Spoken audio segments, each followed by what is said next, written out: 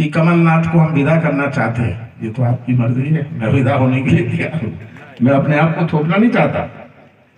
ये तो आपकी मन मंशा की बात है। तो ये चुनौती हमारे सामने है। भारतीय जनता पार्टी बहुत मजबूती से आक्रामक, पर डरिएगा मत। ये इनका दिखावा होता है। आम जनता को आपको समझाना, किसी की इंतज़ार मत करिएगा कि इसने मुझे बोला नहीं काम करने। ये तो आपको खुद करना है।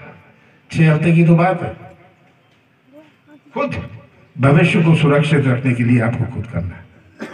और मुझे आप सब पर पूरा विश्वास है। आपने ये नींव बना के रखी है। इन बच्चों को ने तो बनी बनाई नींव देखी है। पर जो बुज़ुर्ग बैठे हैं, उन्होंने नींव देखी। उन्होंने नींव बनाई। और इस नींव को हम और मज़बूत करें। और अपने छिंदवाड़ा के विकास की एक नई यात्रा शुरू हुई।